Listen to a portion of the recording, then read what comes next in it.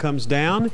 Let's sing 314 in your songbook. 314, Stepping in the Light. 314, if you open your songbook, and let's sing Stepping in the Light.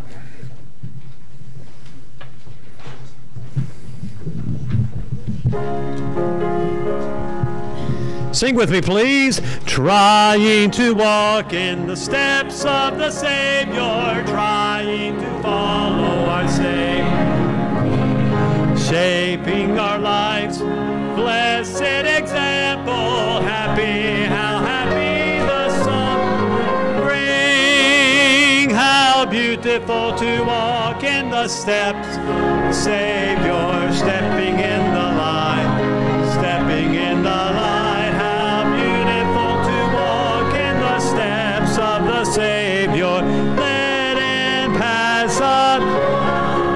We're 314 on the second verse, pressing more closely.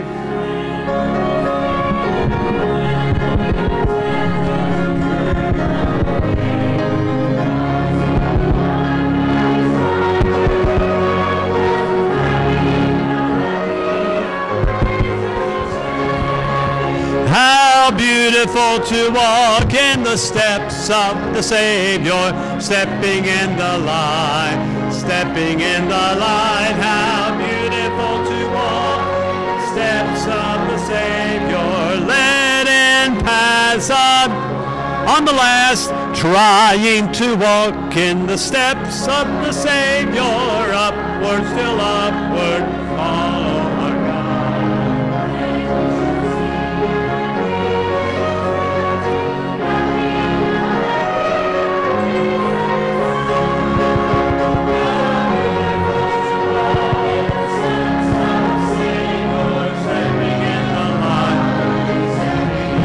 the light, beautiful to walk steps. All right, next page in the bottom corner, I've decided to follow Jesus. Sing with me, if you will, a couple verses of this. The same, but the next page, in the bottom corner, I have decided to follow Jesus.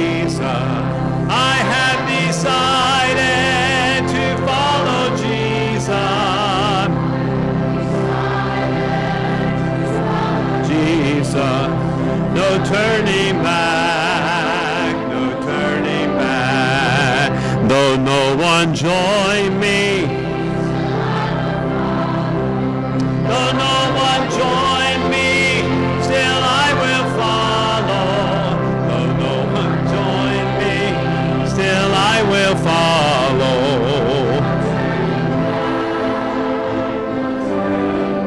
and sing the last, the world behind me. The world behind me, the cross before me. The world behind me, the cross before me.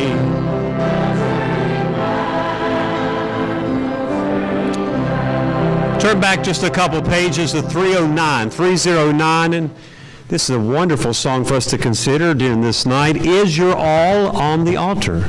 It's a good place for us to start when we think about revival. 309. Let's sing it like a choir, okay? You have longed for sweet peace and for faith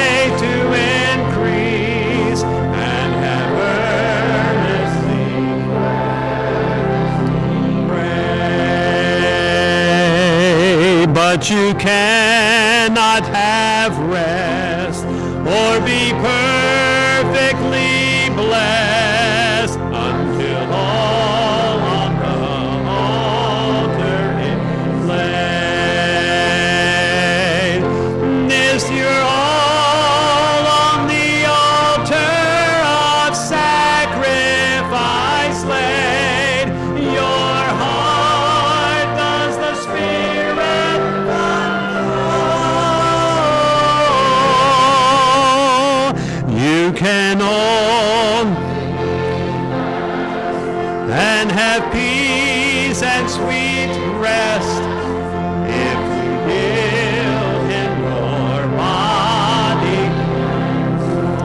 verse number two as our last. Sing it out.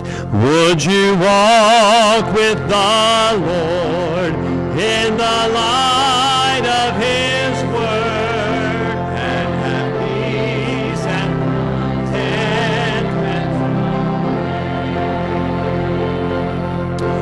You must do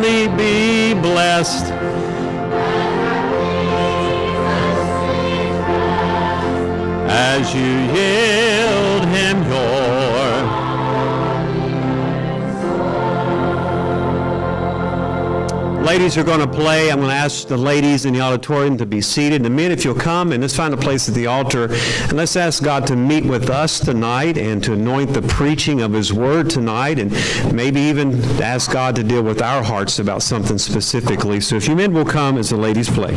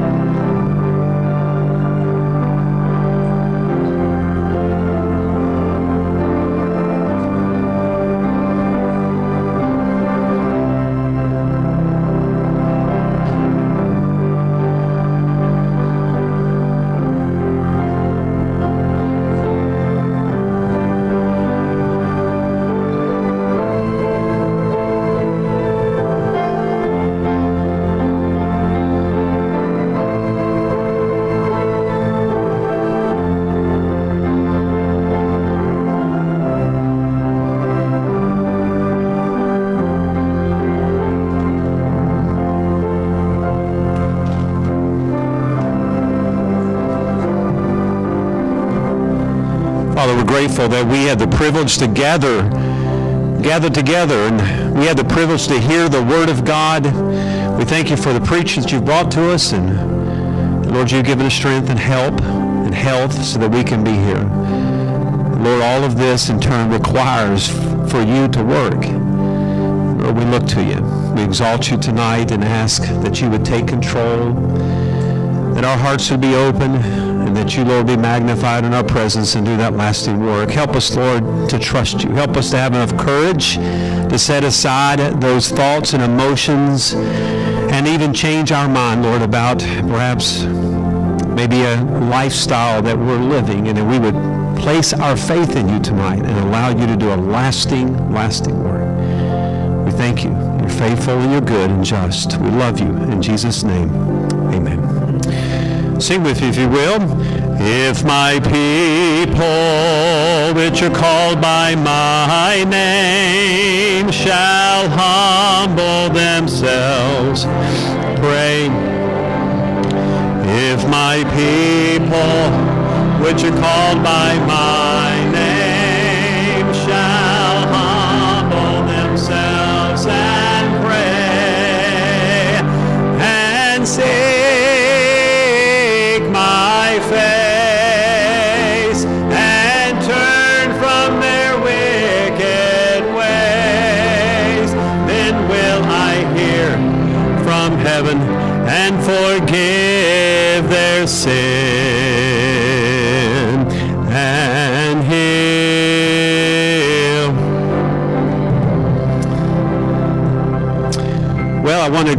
all of you tonight. Is especially grateful to have the Lester Baptist in joint service with us and Pastor uh, Pastor John, Pastor John Reinhardt as well. We also have our guest speaker with us, and in just a little bit, Pastor Reinhardt will introduce him. So thank you for being here with us. Thank you, ladies, for the meal. That was wonderful. It was delicious, the desserts were fantastic.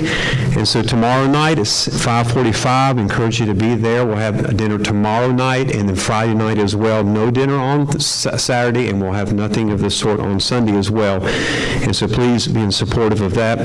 We would certainly appreciate it.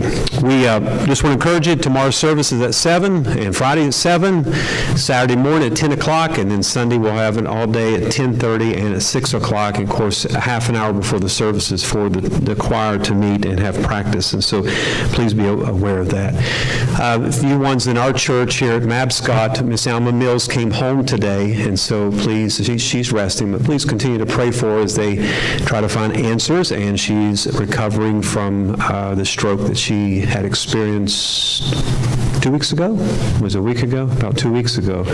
So they just now discovered that. So please be in prayer for her. Brother Beckett was not able to come. Uh, he's not well, but he's hoping for tomorrow night that he can be here. Brother John, uh, Brother John Bragg found out that he has a he has a broken broken vertebrae in his back. So uh, he's here somewhere, isn't he? Brother John? He went home. Okay, so he was here earlier, but he's not doing well. So pray for Brother John. And the last thing I'll encourage you about is that there's an offering plate in the back we'll talk about at the end of the service, but the offering plate is going to will be given as a love offering uh, for our speaker tonight. And so for all of us, be considerate about that, if you will. Okay, stand to your feet. It's time for us to be happy and uh, smile. This is the only time that you can be pretentious and fake. Just smile, walk around, and say something like, "It's good to see you. I'm glad you're here." You know, I do that and walk around as the music plays and greet one another for the service.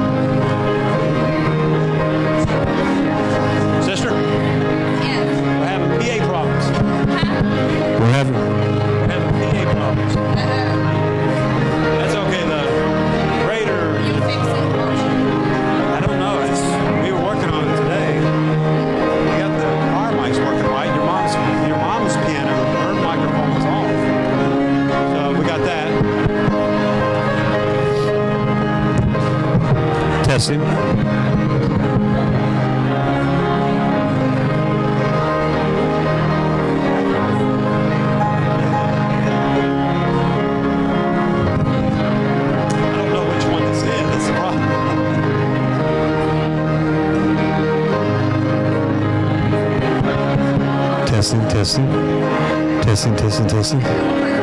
Testing. to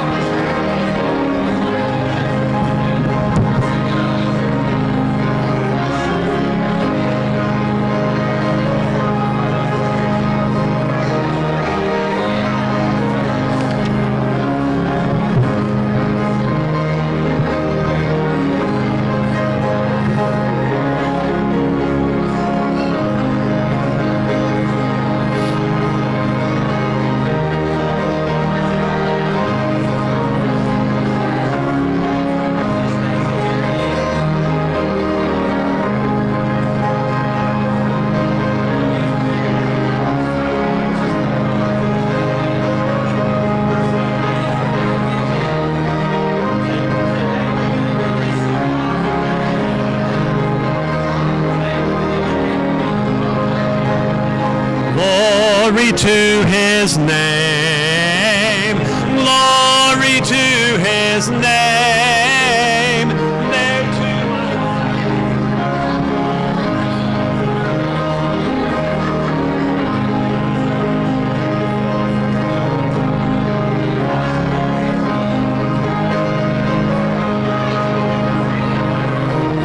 All right, page number two in your songbook. Find page number two.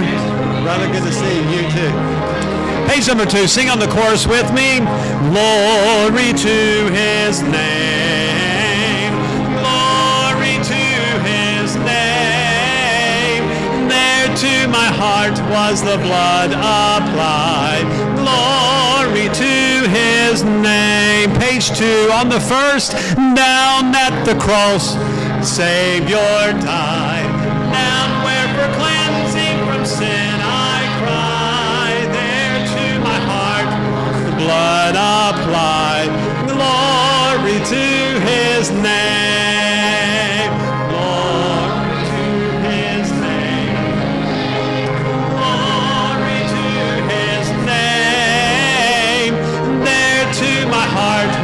Blood applied.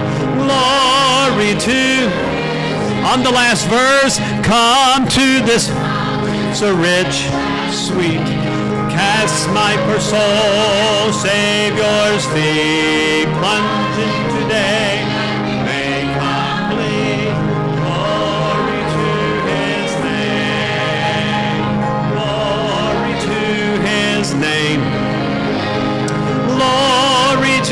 His name. There to my heart.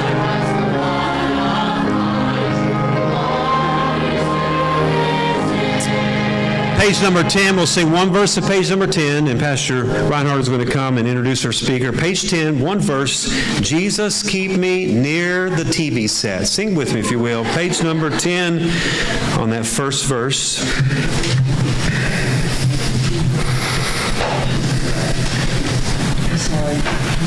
All right. You're fine. Page 10. Sing with me. Jesus, keep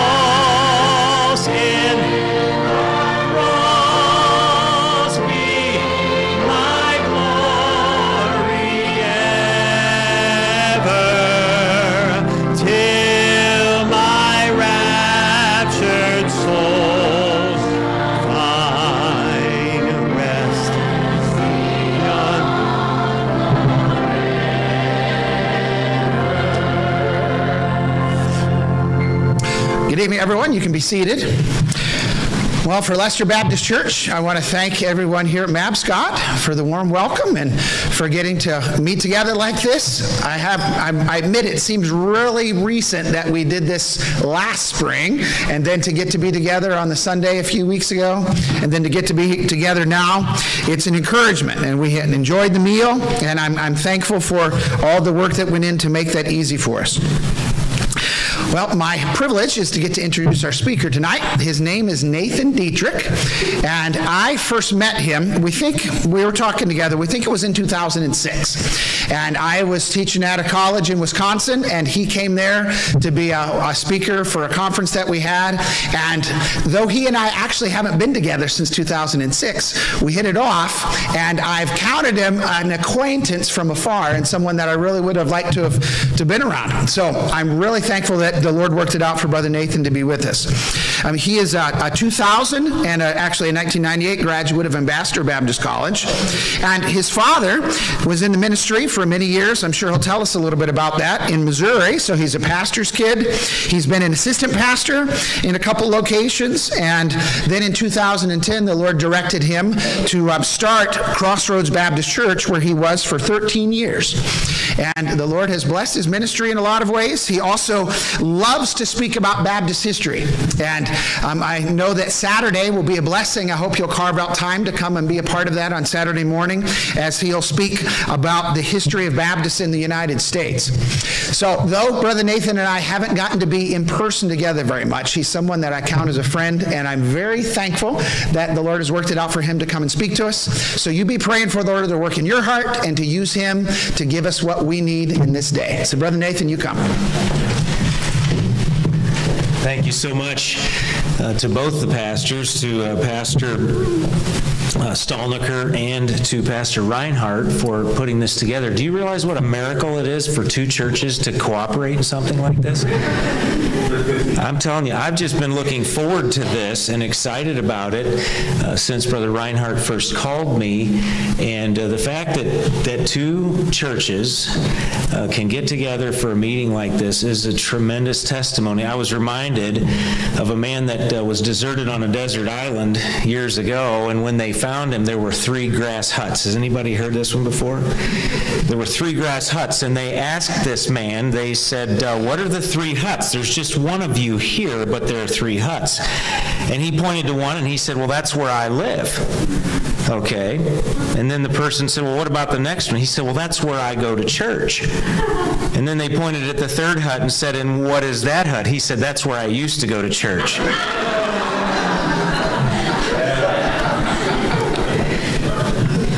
So, all that to say, it's a humorous way of appreciating what is taking place here over the next few days. And I trust that you have an expectant heart and that your business is, Lord, whatever you ask me to do, I'm going to say yes.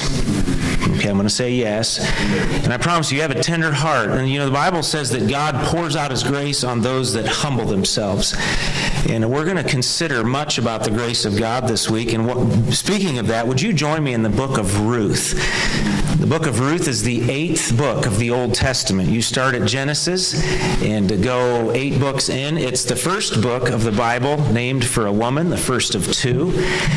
Another thing that's unique about the book of Ruth is in the middle of all the other books where it finds itself, it's only four chapters. You think about Genesis being 50 chapters, Exodus being 40 chapters, and on and on.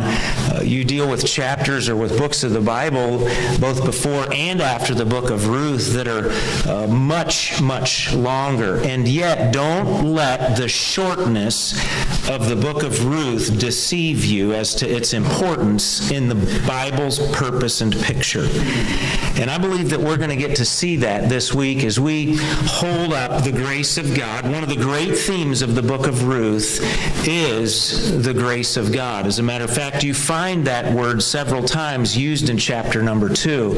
And we'll look at that more as we move forward. I'll say a little bit more about the Baptist history uh, session on uh, Saturday morning. I'll say a little bit more about that maybe tomorrow night. But uh, I'm looking forward to that time.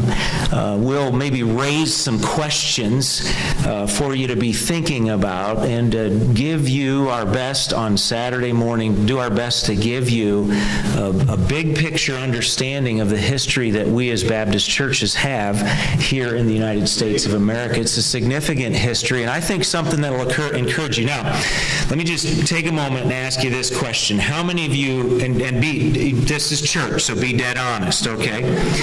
How many of you don't really like history? Okay, thank you. All seven of you, okay? Normally it's the other way around. How many of you love history? You enjoy history? Good, amen. Now let me ask you, and here's what I find out sometimes. I don't know, Brother Reinhardt, I know you teach history as well. What I find many times, Brother Marty, is that when I see a hand come up of an adult or a teenager that says, I just don't like history, I find a lot of times that goes back to a very boring seventh grade history teacher. Somebody who was as dry as last year's bird's nest and just wanted you to think think about dates and names and didn't tie it all together. Remember that history is his story. Okay? And even as it relates to the churches of the Lord Jesus Christ that we call Baptist churches here in the United States, in our 400 plus years of history, dating all the way back to Jamestown, uh, there are some significant things that I believe will challenge you, will encourage you, will stir you to gratitude. So be keeping that in mind our time together on Saturday morning as well. It's my privilege to be with you. I've been praying for this time. I know many of you have as well. I wish I could have my family with me. Uh, my wife's name is Grace, and Grace is Grace. That's why I like to talk about grace. All the time talking about grace. A unique aspect of our lives, Grace and I will, in just a few days, have been married only two years. Uh, I was married for 22 years to a godly uh, wife by the name of Jenny, and early in 2021, the Lord took her home after a 16 month battle with breast cancer. And she had a profound testimony. We saw people trust Christ as Savior uh, as a result of her sickness and her death, and it was a powerful testimony. And, and I'll mention back and forth uh, just in illustrations and things throughout the week. I'm sure Jenny's name will come up, Grace's name will come up, uh, and, and I, I get them confused sometimes too. Uh, so if I say one and mean the other, please don't hold that against me.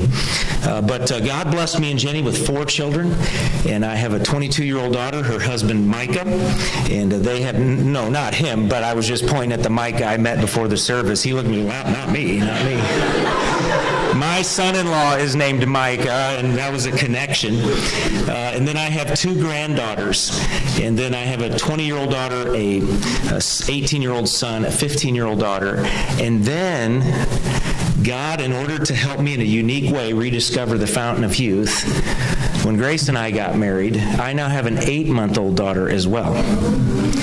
So I'm just starting all over. Got grandkids and a daughter the same age. Uh, God's plans are unique, but I've learned this over and over and over again that as for God, His way is best and perfect.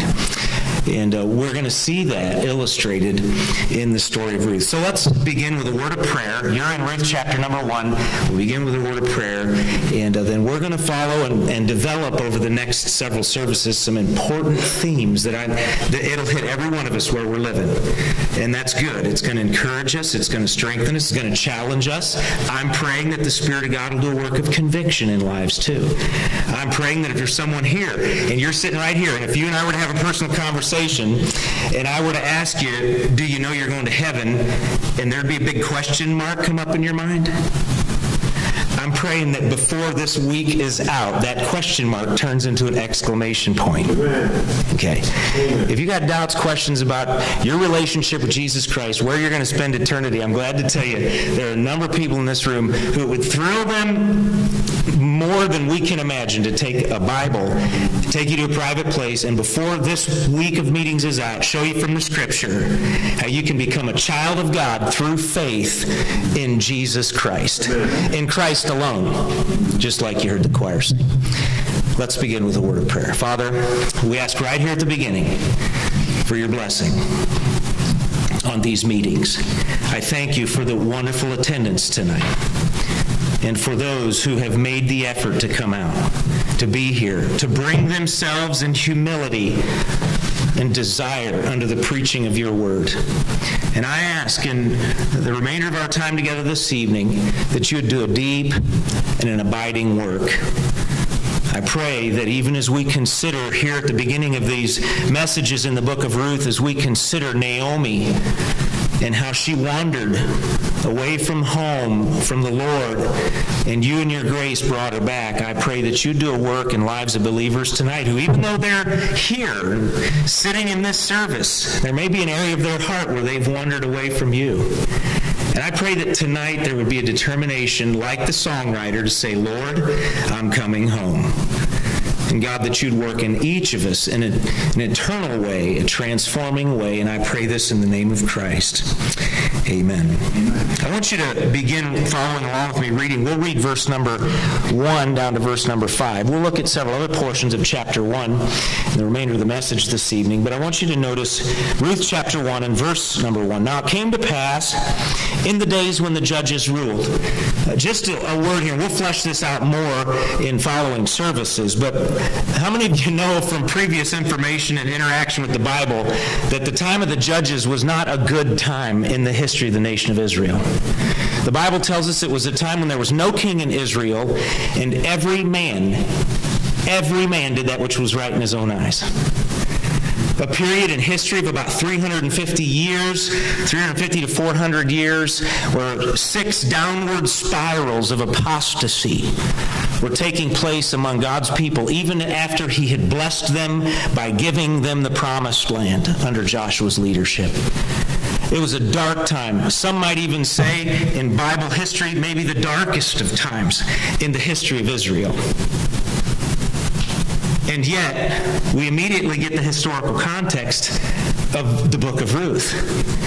In the days when the judges ruled. And so here, as we will see developed over the remainder of our services, this beautiful picture of the grace of God working through Ruth and working in the life of Naomi and working through Boaz, who is an Old Testament picture of the Lord Jesus Christ. Even as we see this story of Ruth unfold, don't ever let it slip from your mind that this took place in the days when the judges ruled. When it was not easy to serve God. When it was swimming against the stream to do right. In the days when the judges ruled, that there was a famine, the Bible tells us, in the land.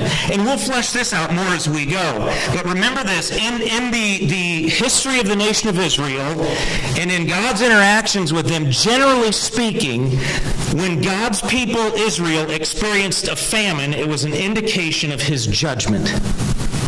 Okay, it wasn't always the case, but generally speaking, it was an indication they were not right with God. And one of the, the means of chastisement that God would send is a famine.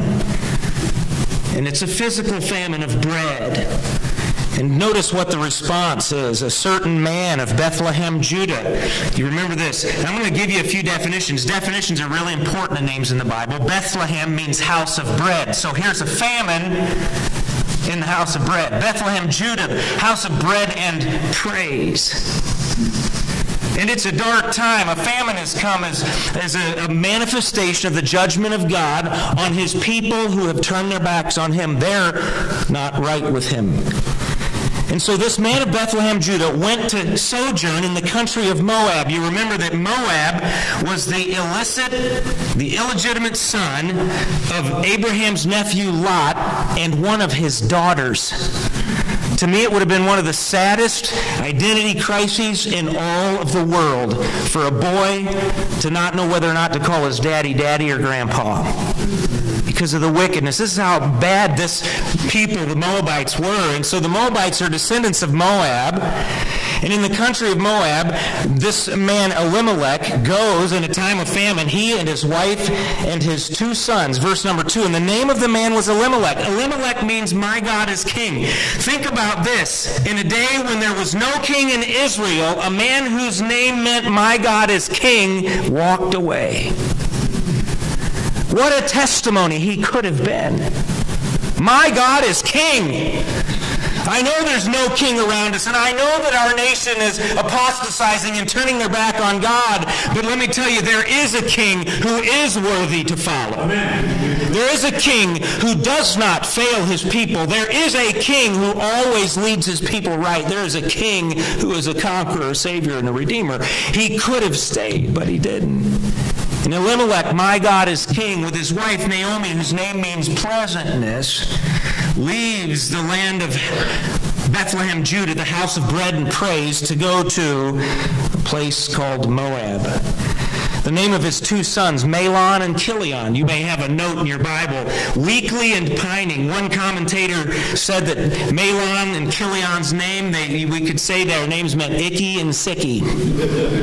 Okay? Icky and sicky. What does that tell you? Especially knowing that in the Bible, people, when they named their names, they didn't just search the list of the most popular 10 names. There was a significant reason, and so it gives us a glimpse into Elimelech's and Naomi's heart mind, if you would, their thinking, when we find them naming their boy Icky and Sicky. So here are Mahlon and Chilion, Elimelech and Naomi, and they're Ephrathites, the Bible tells us, of Bethlehem, Judah. Ephrathites were the old families. They were the founding families of the city of Bethlehem, Judah, when under Joshua's leadership the land was conquered. They're one of the noble families, one of the long-standing families. And so are you getting the picture here? One of the long-standing families of the tribe of Judah that God had promised clear back at the end of the book of Genesis, the kings of Israel were going to come through the tribe of Judah. Here is a family of that tribe who are an old, deep family, a noble family of Bethlehem, Judah, the house of bread and praise. And the Bible tells us that in a time of famine, they left. The Bible tells us at the end of verse number two, they came into the country of Moab and continued there. And Elimelech, Naomi's husband, died, and she was left, and her two sons. And they took them wives of the women of Moab. The name of the one was Orpah, and the name of the other Ruth. And they dwelled there. Did you notice the downward progression? The Bible says, first of all, they just went to sojourn. We won't stay long, just go for a little bit. Then the Bible tells us next they continued there and they dwelled there. Have you ever heard the old saying, sin will take you further than you want to go, keep you longer than you want to stay, and cost you more than you want to pay? Elimelech and Naomi take their family and go from Bethlehem, Judah to Moab, a picture of the world in the scriptures, a picture of the people who are the enemies of God. And they think it'll just be for a little while. And boy, their lesson still is shouting to us down through the generations the importance of staying in the place of God's blessing even if a famine comes. And by the way, one of the reasons that I personally believe it was wrong for Elimelech and Naomi to leave is because a man like Boaz didn't. Boaz stayed. Boaz understood that the thing for a, a, follower of Jehovah to do was to stay and humble himself and to seek to influence others to humble themselves before God so that the nation could get right with God and God's blessings could be restored. That was the thing to do. Verse number five, and Mahlon and Chilion died also, both of them, and the woman was left of her two sons and her husband. It's not a very bright beginning, is it? Now I'm glad, and, if you, and let me encourage you this: be reading the book of Ruth over the next few days. Read it. It takes about 15 minutes to read all four chapters, and it'll help you to, to get a grasp and to remember and to know things and recall things as we reference them in the messages over the next several days. But that is the dark beginning of a story that I'm glad to say gets better and better. Amen. Okay. Because everything turns, even though Naomi's a little slow catching up to it, everything turns with the beginning of verse number six. I'm glad it turns that early in the book. But what we're going to do over the next several services, just like a diamond, we're going to hold up the grace of God and its multiple facets as they're illustrated and seen in the book of Ruth. How many of you heard the name Ben Franklin before? Now, I don't believe Ben Franklin was a believer. He was personal friends with the great revivalist George Whitefield. But there's no record of his ever making a profession of faith in Christ, as far as I know, unless I've missed that historical account. But Ben Franklin, as one of the founding fathers of our country, was a man who, at least to a degree, had an appreciation for the Bible that you and I hold in our hands tonight.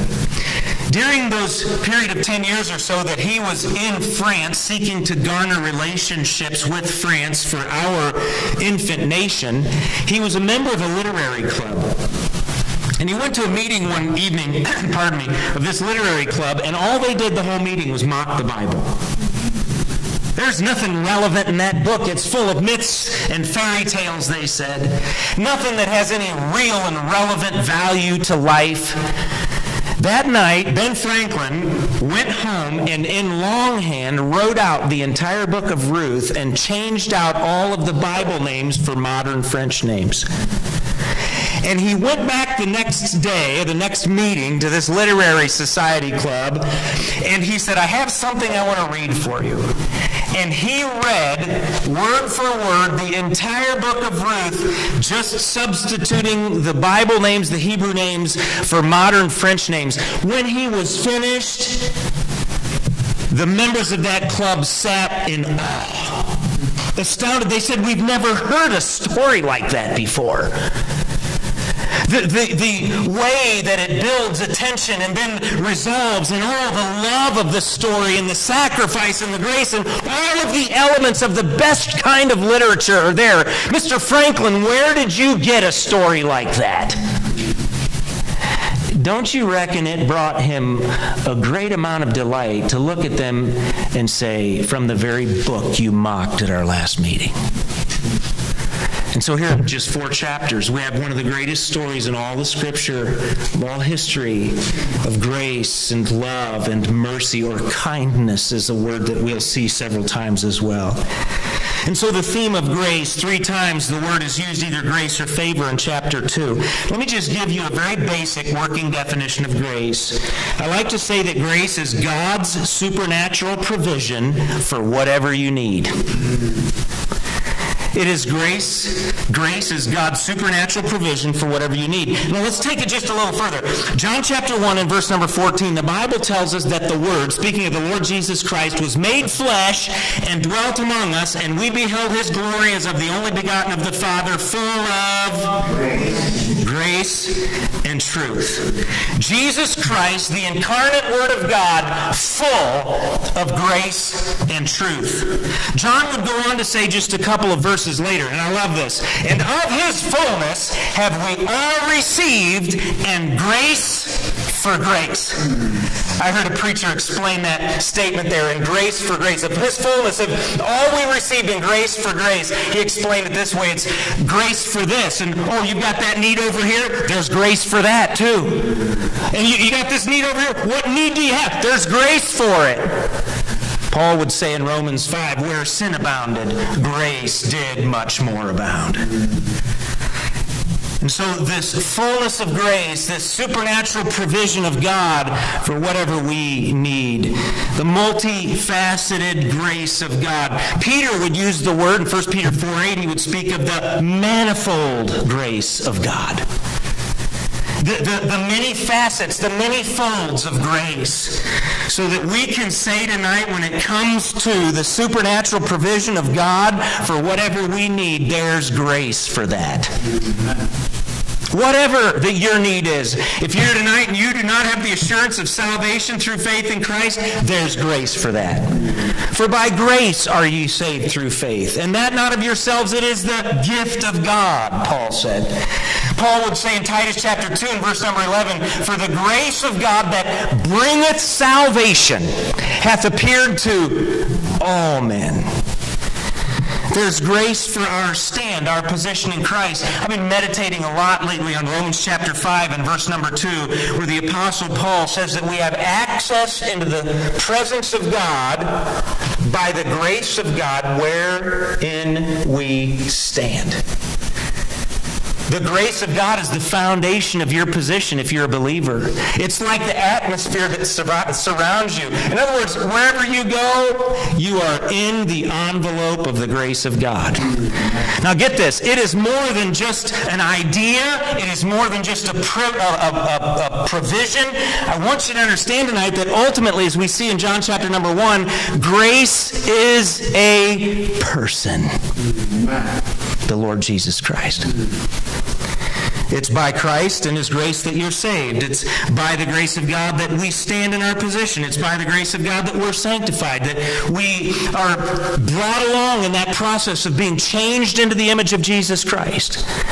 I told uh, many times the folks that I had the privilege of pastoring in North Carolina, I described sanctification this way. It's the process whereby the Spirit of God takes the Word of God to change the child of God into the image of the Son of God, Jesus Christ, and all for the glory of God.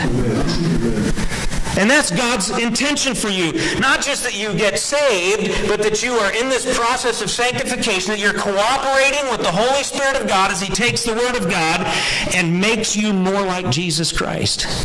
And it's a cooperative effort. It's done by grace, but God doesn't do it in your life against your will. And so we're sanctified by grace.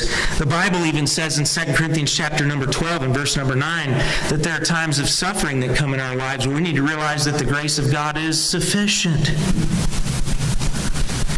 Paul had a thorn in the flesh. He begged God to take it away. And God said after three times, Don't ask me again. My grace is sufficient. Another facet of the grace of God. It's by grace, according to grace, that Paul said both in Romans and in Ephesians that we serve the Lord. Here's very practical use of grace or the place of grace in our lives. Ephesians chapter 4 and verse number 29 and Colossians chapter 4 and verse number 6 tell us that we are to speak with grace. In other words, the grace of God is to characterize the words that I say. Let no corrupt communication proceed out of your mouth, but that which is uh, good to the use of edifying, that it may minister grace to the ear. Do your words minister grace in people's lives? Do they make people think bigger and better thoughts about the grace of God? Do they minister like Jesus' words would in a person's life? So we speak by grace. Colossians 3:16, we sing with grace in our hearts to the Lord. I was so encouraged by the singing tonight. No restraint, nobody feeling like uh, somebody might be watching me sing. But just listen, sing now like you're going to be singing in heaven. All the inhibitions are going to be removed, and there we are going to stand, get this, without any restraint in the presence of the King of Kings and the Lord of Lords. The Lamb of God on the throne, and all of the thoughts of what people might be thinking are going to be gone because all we're going to be thinking about is Jesus on the throne. Amen. And in grace, we're going to sing then. Let's sing that way now. We're strengthened by grace. The Bible even says that our sight for the future is directed by grace. It's by the grace of God that we're motivated to look for that blessed hope and the glorious appearing of the great God and our Savior Jesus Christ. So, the importance of the grace of God. Grace is observable. Should be. Remember, uh, Pastor Marty and I were talking about this today. I've been thinking about this lately, too. You remember when Barnabas went up to Antioch after that Gentile church, and a bunch of Gentiles had gotten saved? and uh, they started a church in Antioch. And they just did what you're supposed to do. People get saved, baptize them, you start a church. And uh, the church at Jerusalem at the time, they were, uh, they had their issues. A good church, but they had their issues. And there were people in that church that kind of had the idea that, um, uh, you know, if, if it, another church people are going to become Christians, they got to become like us Jews, us Jewish Christians. So they said, we better check this out. And so what do they do? They send Barnabas up there. And I love it. Barnabas goes up, and it's a, a, church of Gentile believers, baby Christians. And the Bible says when Barnabas got there, he saw the grace of God. Let me ask you a question. Can that be said about you? That when others interact with your life, they can see, man, the grace of God is at work in that person's life. Look at how they're changing. Look at their singing. Look at their, listen to their speech. The grace of God is observable.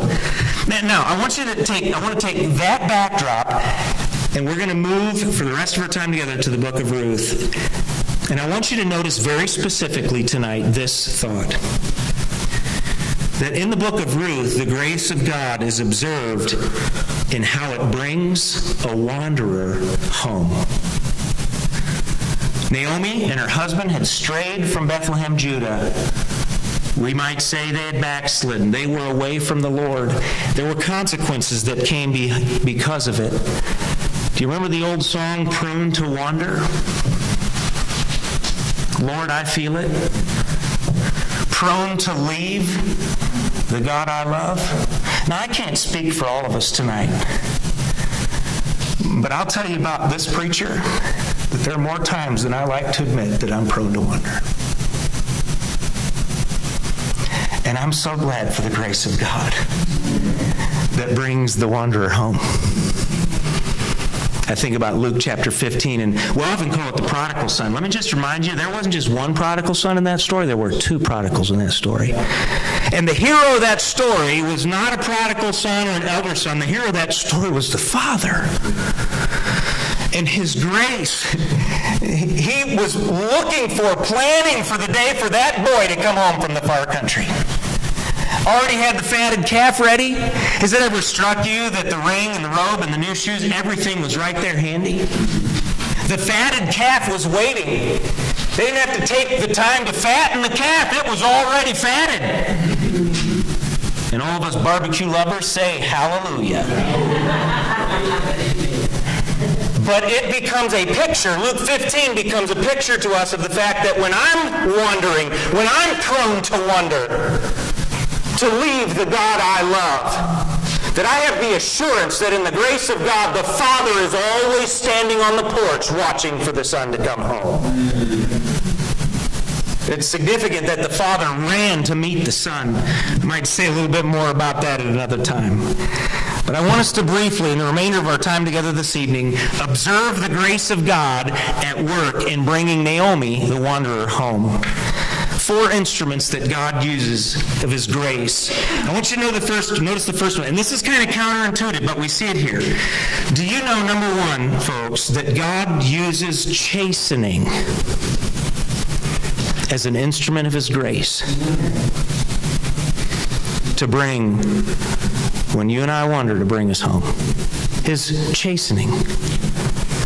Naomi was away from the Lord. They'd fled a time of famine, which was a time of chastening. But God's grace found them even in Moab.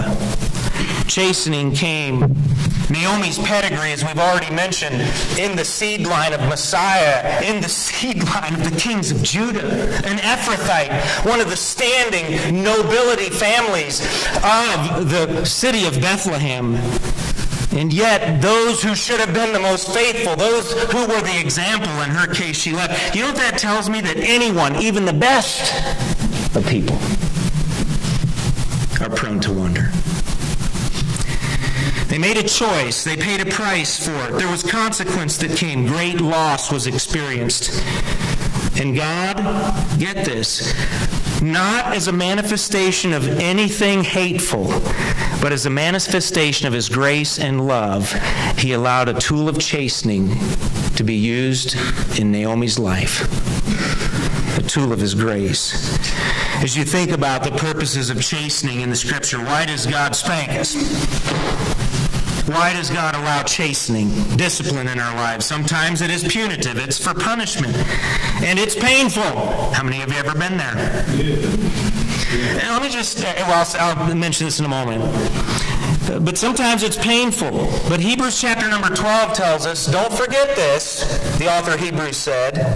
Have you forgotten the exhortation which speaketh unto you? That's interesting because he then quotes Proverbs and Job. And yet the author, oh, keep your hand here and turn to Hebrews. I, I want to, we'll stay primarily in the book of Ruth the rest of our time tonight, but I want you to notice something. Hebrews chapter 12 and verse number 5. Hebrews chapter 12 and verse number 5.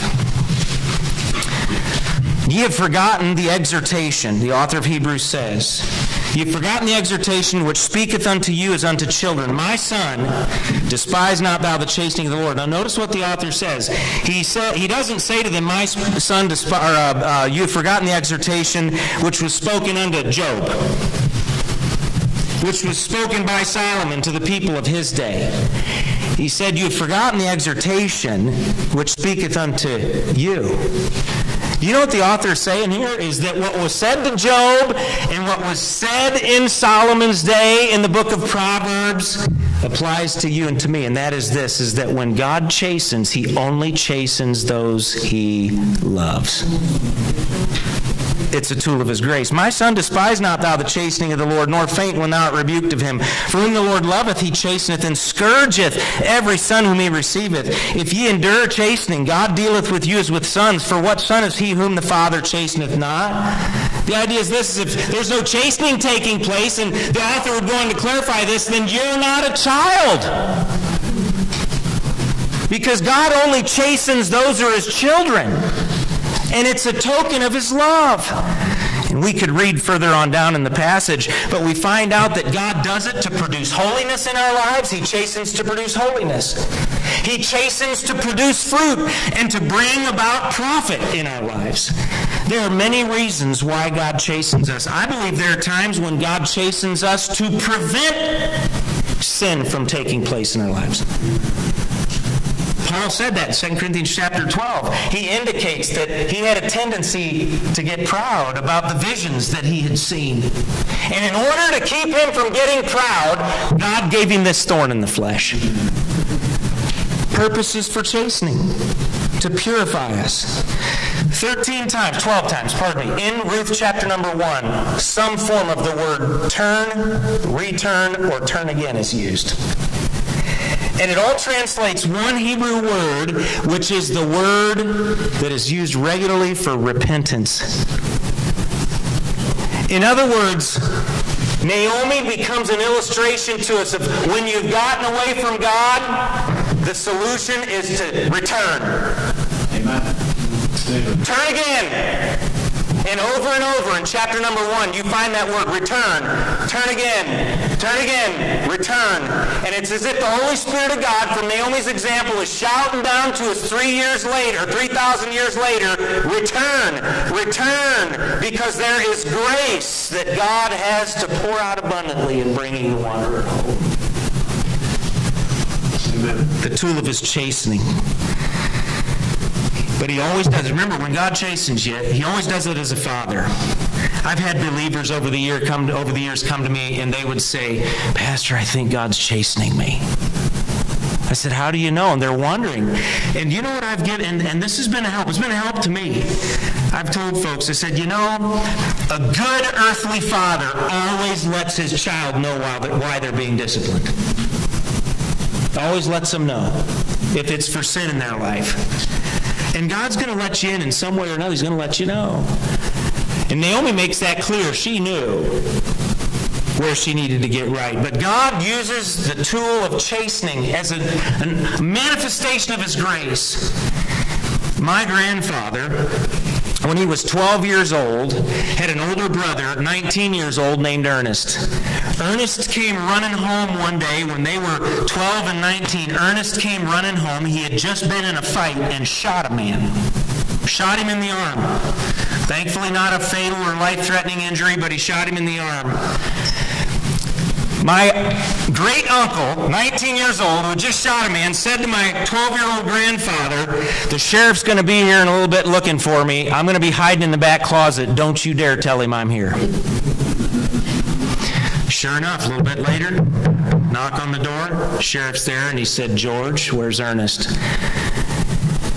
And my grandpa made a decision, even as a 12 year old boy, that has had profound impact on our family. You know what he said? Ernest is in the back closet. Now you can imagine that really enhanced brotherly relations. Okay. But here's what happened in the providence of God, in the chastening of God as a tool of God's grace. Ernest was convicted, spent time in prison, but in prison he got saved. Uh, isn't that great? Amen. He got saved. God called him to preach. And he pastored Baptist churches all over northeast Missouri, and there are literally hundreds of people who are going to be in heaven because they trusted Christ as Savior under the preaching of Ernest Deatrick. Amen. And by the way, he and George got along great. They're really getting along great right now because they're in heaven. Okay? But the tool of chastening. Don't despise the chastening of the Lord. It's a tool of His grace. And I'm going to have to move quickly through the next couple ones here. A second instrument of the grace of God that He uses in, now get this, in bringing a wanderer home bring the wanderer home, is the communication of his word. Now, here's where all of the book of Ruth really, in a certain sense, turns. Everything's been dark in verses 1 through 5. Death and desertion and destitution, and you want a few more D's, right? But notice what happens, verse number 6. Then she, that is Naomi, our subject tonight, with her daughters in law, she arose that she might, what's the word? Return. That she might return from the country of Moab. Why? And here's what I want you to notice. For she had heard in the country of Moab how that the Lord had visited his people in giving them bread. And everything turns right here. Here's Naomi this old believer who's away from the Lord, who knew more about Jehovah than probably most people of her day did. But she had made some wrong choices with her husband, had gotten away from the Lord. And she's paying the consequences of it. God's brought chastening into her life, into her life, but he uses this chastening as a tool of his grace to wake her up. And Naomi comes to her senses and essentially says this, I'm going home. I'm going home. Verse number seven, wherefore she went forth out of the place where she was, and her two daughters in law with her, and they went on the way to unto the land of praise, Judah. And Naomi said to her two daughters in law, Go, and here's the wrong kind of return. And I'm not going to read all of that, this portion of the story, but on the way home, she begins to think about the difficulty that Ruth and Orpah are going to have back in Bethlehem, Judah, because the Israelites didn't like the Moabites. And so she begins to try to talk her daughters in law to going back to a place of idolatry and immorality and wickedness. That gives us an indication of the spiritual temperature of Naomi, too. But now here, here's the good thing. she's, she's still got some issues, but she's at least on the way home. Amen. Just listen, if you're sitting here tonight and, and the Spirit of God's talking to your heart, and you know there's some areas of coldness and coolness and apathy in your life, some areas where even though you might be like the elder son and you're sitting right here tonight, you're where you're supposed to be. And yet you know between you and your good shepherd, there's some things that aren't right. Listen, right there where you sit, it might be rough going, but just determine I'm going to keep moving towards Bethlehem, Judah. Amen. Amen. I'm going to let the, the grace of God's chastening in my life do its intended work because He loves me. But the, the second instrument of God's grace is the communication of the Word. To me, it's a powerful thing that all those miles away, I had the privilege in May of 2022 to being in the very area where this whole story is taking place, Bethlehem, Judah. And I'm telling you what, uh, uh even though it was only 50 miles, 50 miles back then was maybe the equivalent of 500 now. When it comes to the difficulty of the terrain, you see the cliffs and the precipices and the steeps and the valleys. It was a difficult trip. They estimated that it would have taken about seven days. And yet, God in His providence, I don't know how she heard, but she heard. And I want you to understand this evening that another instrument of God's grace in your life and mine when we're in the place of the wanderer is to get His word to us. My dad used to say when he would preach and there would be conviction that would take place, he'd say, Don't get mad at the mailman for delivering the bill. It's the grace of God. Yeah. It's the grace of God. Faith cometh by hearing, and hearing by the word of God. The Bible in Acts 20 32, Paul called it the word of his grace. And it's an instrument of the grace of God. Every time your pastor, whichever one of these two men up here is your pastor, every time they stand and they preach the Word of God, something is happening. And I want you to get this is a supernatural book. And it will not return void, Isaiah 55 says. Okay? But I want you to understand that what's happening, even if it's chastening, even if it's conviction that happens, understand this. If the Word of God is being communicated, I want you to understand that it means that the grace of God is what is involved in communicating the Word so that you can hear. Even if there's a, a, time in your life, a chapter, a place where you're a wanderer, you're away, or in an area of your heart, and the Word of God is preached, it's God's way of t- telling you, hey, I visited my people, I've restored bread to the house of Israel, and there's plenty to go around. Amen. So, communication. I love illustrations about the power of the Word of God. How many of you have heard the name C.H. Spurgeon before? Many of you have. The great London Baptist pastor a man that God used powerfully, rarely, uniquely, in comparison to few other men. Several times, he would be preaching or even practicing preaching, doing a sound test, and somebody would overhear him just testing the acoustics in an auditorium. One time in particular, when they were meeting temporarily in what was called the Surrey Music Hall, I believe it had a lot of glass panels over it, he came in with several men from his church to test the sound out in preparation for the next service, and he stood in the center of the Surrey Music Hall and he cried out John 129, Behold, the Lamb of God which taketh away the sin of the world. And several times he just quoted John 129 in his preaching voice and shouted it out. Years later, a man came up to him and said, You don't know me, but I was a repairman up on the roof.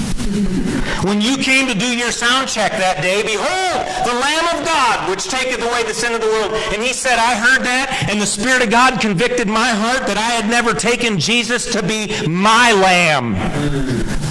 And soon after that, I found somebody who could give me the gospel, and I trusted Christ as Savior. And I just want you to know that Jesus is my lamb now. Amen.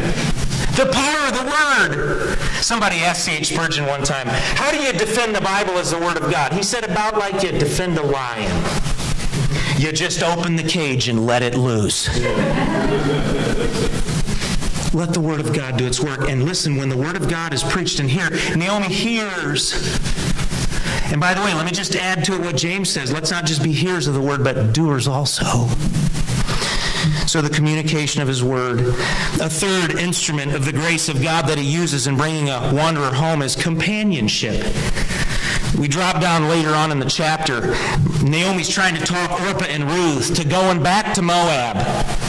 I want you to notice verse number 14. They lifted up their, uh, look at uh, verse number 13. Back up to verse number 13. Would ye tear, middle of the verse, for it grieveth me much. You see the word grieveth there? For it grieveth me much. Middle of verse 13, Naomi says, For your sakes, that the hand of the Lord has gone out against me. And they lifted up their voice and wept again. And Orpah kissed her mother in law, but Ruth clave unto her. And she said, Behold, thy sister-in-law is gone back into her people and unto her gods. Return now after thy sister-in-law. And Ruth said, Entreat me not to leave thee, to leave thee. It's the idea of a, don't stand against me in this. Entreat me not to leave thee or to return from uh, following after thee. For whither thou goest, I will go, and where thou lodgest, I will lodge. Thy people shall be my people, and thy God my God. Where thou diest, I will die and will be buried. The Lord do so to me, and more also, if aught but death part thee and me. When she saw that she was steadfastly minded to go with her, then she, Naomi, left speaking unto her, unto Ruth. Now, we'll look maybe in more detail at that statement or that confession of faith that Ruth makes in verse number 16 in particular, maybe tomorrow night. But I want you to notice that a third instrument of the grace of God that he uses in bringing Naomi the wanderer home is a companion, a loyal, truth speaking, grace giving, God loving companion. A token of God's grace. One of the most significant tools of God's grace in Naomi's life was Ruth. Now, here's a very practical thought for us this evening. I want you to determine tonight that you're going to be a Ruth in somebody's life. There may be somebody you know that's a wanderer and they need to come home. You may not know they're a wanderer, but you be a Ruth in a person's life, a channel of God's grace The Bible says in 1 Peter chapter 4 and verse number 10, As every man hath received the gift, even so minister the same one to another as good stewards of the manifold grace of God. We are stewards of the grace of God. I, have a responsibility to be a, a, dispenser, if you would, a channel of God's grace in the lives of other people and has the potential to have a profound impact. Determine I'm going to be a channel of God's grace in someone's life. I'm going to be a companion to someone so that God can use me to bring a wanderer home. And Naomi would eventually realize it. It's interesting, the, the testimony, the transformation. We'll look at this in a couple of, night, a couple of nights. The, the transformation that takes place in Naomi. You see this in the latter part of chapter number one. Naomi and Ruth come to the gate of the city. The city gathers around them. We'll read this in just a moment. And she says to them, I went out full, and the Lord has brought me home again empty. Have you ever thought about what that could have done to Ruth's feelings? There stands Ruth, who's just turned her back on everything to come to a place that really offered her no hope because as far as she knows and Naomi knows, no Israelite man is going to want a Moabite woman. They're going from one kind of destitution to a worse kind of destitution in a certain sense. And yet Ruth has turned her back on all of it, cut all the strings. And here she stands, and yet Naomi says, I'm empty. But do you know what is amazing is before the book is over, we get to chapter number four, and after the whole story of God bringing Ruth and Boaz together, and a baby boy named Obed being born to them, and Boaz becoming the kinsman redeemer and rescuing them from their destitution, the Bible tells us that all the women of the city of Bethlehem said to Naomi about Ruth that Ruth is better to thee than seven sons. Do you know what I say when I read that? And I know about my own need for companions who are channels of the grace of God in my life, my own desire to be a channel of the grace of God in someone's life. I'm like, God, give me companions like that. And help me to be a companion like that. Today I flew to the uh, Atlanta airport and walked by a spot where I remembered an interesting interaction that took place several years ago. I was standing, I'd rushed to a gate to get on a flight to go to Greenville, and this lady came up next to me and she saw these people standing in line and she said, Are all those people already getting in line to get on an airplane? I can't believe it. Why are they? And it was just na na na na na na na. Negative, and I in my head, I named her Negative Nanny. And then I said, I excused myself. I didn't want to be around her. I got up and I excused myself kindly. I went and got in line behind three ladies. And this one lady, you know how it is at an airport line, you just kind of merge in.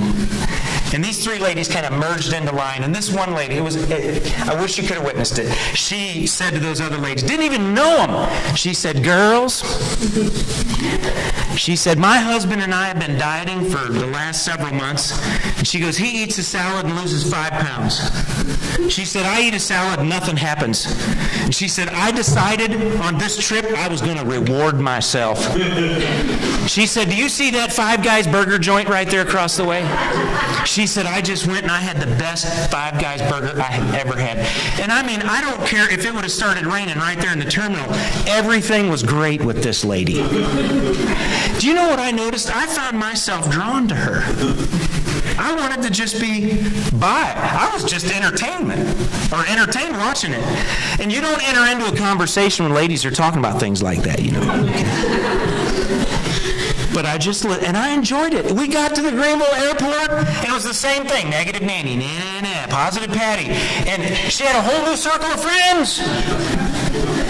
You determined to be a channel of grace, and God will use you to help wanderers come home. Okay? And then number four, I'm going to give you this, and then we'll finish tonight. Another instrument of God's grace is the care of God's goodness. I love this. Notice, if you would, verse number 19. So they went until they came to Bethlehem, and it came to pass that when they were come to Bethlehem, that all the city was moved about them. And they said, Is this Naomi? And she said unto them, Call me not Naomi, Naomi call me Mara. The word means bitter. For the Almighty hath dealt very bitterly with me. She's actually accusing God here of being bitter or resentful in how he's dealing with her. He's dealt very bitterly with me. I went out full, and the Lord hath brought me home again empty.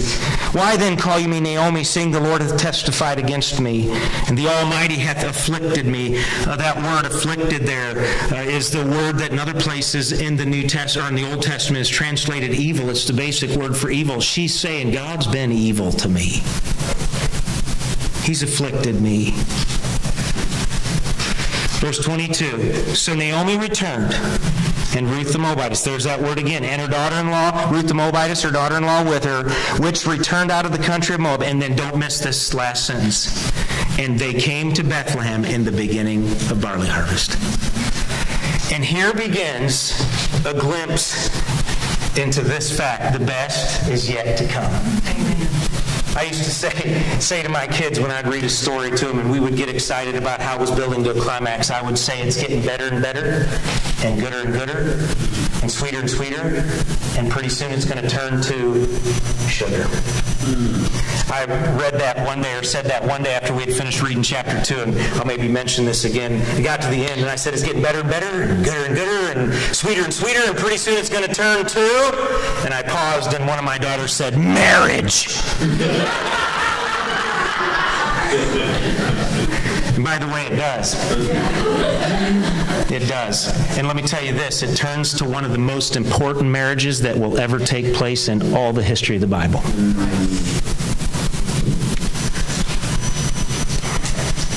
But that last statement, they, they come home at the beginning of barley harvest. In the East, harvest has two phases. It's actually the first phase, as I understand it, is just about to begin. It's April, corresponds to April of ours, and it runs for three months. The early harvest is barley harvest, and the second harvest is wheat harvest. Isn't it interesting to you that God didn't wait to bring him home to wheat harvest? He brought him home at the very beginning. Because in those three months, God is going to begin to open the floodgates. I think about Romans chapter 2 and verse number 4. Paul says to the unbelievers there, Despisest thou the riches of his goodness and forbearance and long suffering, knowing not that the goodness of God leadeth thee to repentance?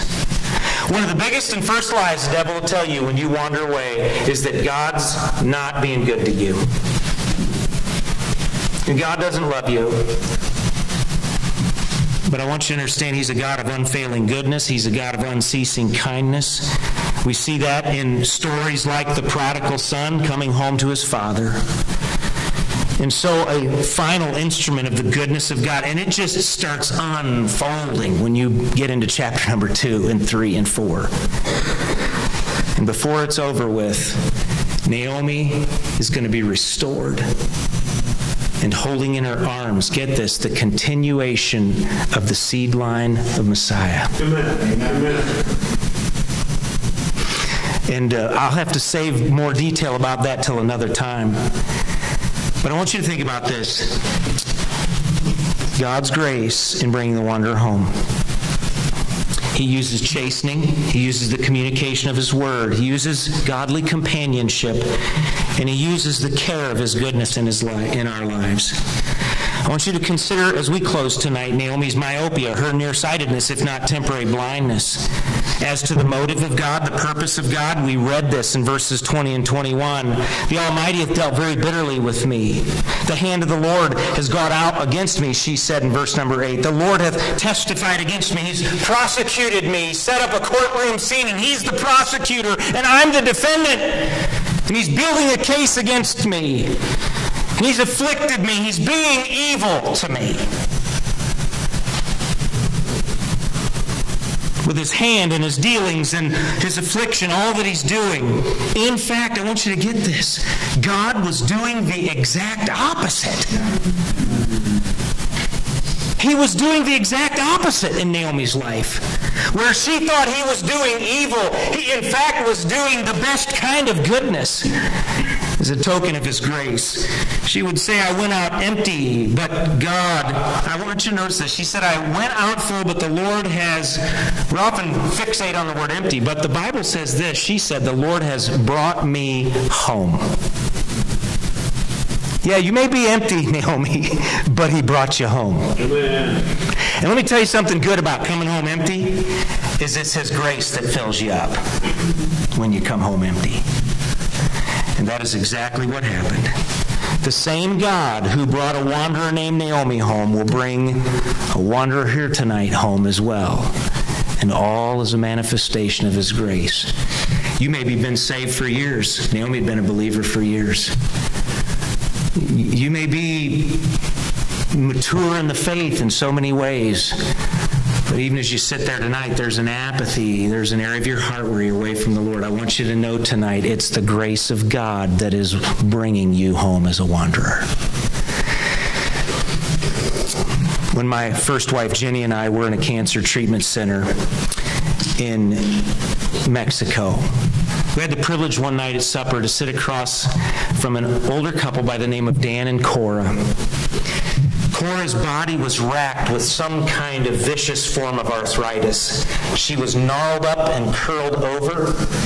She could not even walk straight. She had to go down steps backwards because her body was so uh, racked up. But I have not met a couple that had a sweeter fragrance of Christ about them. We sat there that night and they were just praising the Lord. And then she said, You know, several years ago, I wasn't like this. She goes, I nearly destroyed my family by my hateful, bitter spirit. I nearly separated my husband and I from our children because of my meanness, because of my greed, because of my carnality. And she said, and then God gave me this arthritis. And I got to tell you, my jaw dropped. Because I think that was the first time I'd ever heard anybody express gratitude like she did for something like that. But she said, God has used this to change me. And God used chastening to bring a wanderer home. And they were in the process of seeing their family restored as a result of her understanding that God was using that arthritis as an instrument of His grace to bring a wanderer home. Are you a wanderer tonight? Are you an elder son? Maybe you're prodigal. Maybe you're generally a faithful believer, and yet there's an area tonight God's talking your heart. I want you to know listen, there is grace to bring the wanderer home. Why don't you do business with the Lord tonight? Let's make some decisions this evening about how God's working in our hearts. If you're tonight, you don't know Christ as Savior, let us help you with that too. There is grace to bring you into the family of God. Father, thank you for your word this evening. I pray, Lord, that you would apply it specifically in the lives of everyone that is here this evening. I think of believers and however you're dealing in their lives. And I pray, God, that you'd give us wisdom in these final moments of this service before we close. In Jesus' name. Heads bowed and eyes closed in just a moment. Piano's going to begin to play to give us some background music. I wonder if there are believers here tonight. You'd say, Pastor, I know that I'm saved, but God's put his finger on a specific area of my heart where I need to get right with him tonight. And in that area of my heart, I'm a wanderer and I need to come home. And God has worked in my life through His grace. And God's talked to my heart tonight. And tonight, I want to make that right with the Lord. Can I just see your raised hand so I can pray for you? Good, several hands. Any others would join these? Pastor, pray for me. I'm going to pray for you in just a moment. God's talked to my heart about a specific place, a specific area where I'm wondering. Thank you. you may put him down. I see another hand. Good, several others. I wonder if there's anyone here tonight just by an upraised hand between you and me and the Lord. Pastor Stallnaker's watching as well.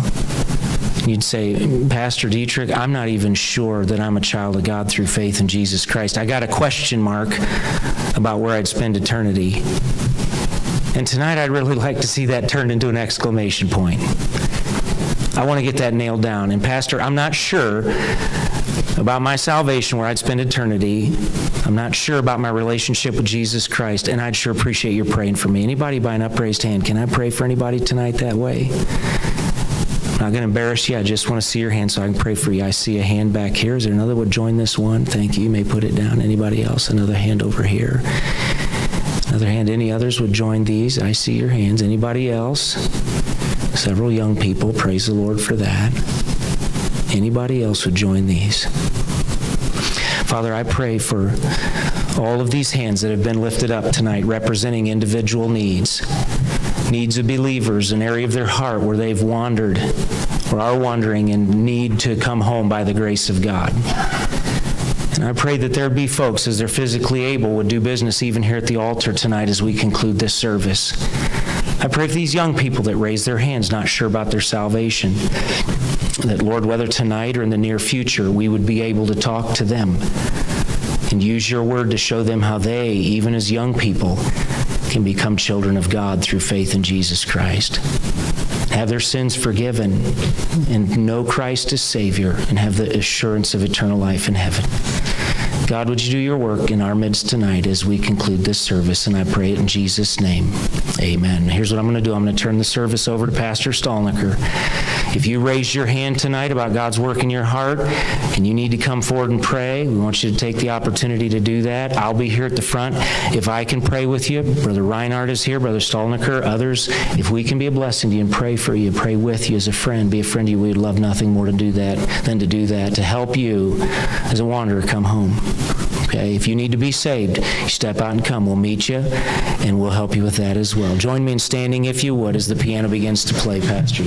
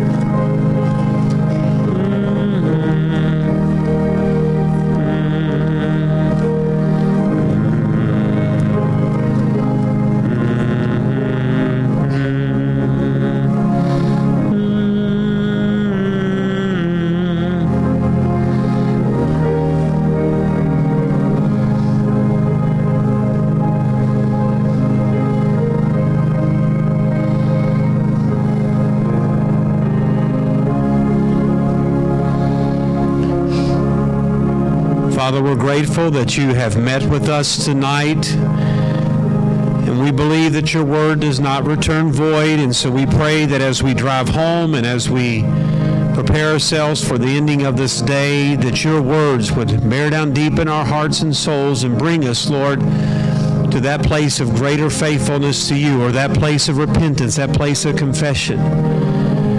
Pray that we would expose ourselves and embrace the grace that you've given us. Thank you. You're a faithful and a wonderful God. In Jesus' name we pray. Amen. That's been good. But Deatrick, I'm going to ask, if you will, to make your way to the back and you can greet folks as they leave. And I ask for in the congregation, if you would consider to, to get some money and uh, drop it in the offering plate there in the back. It's just beyond the PA uh, table there and drop it.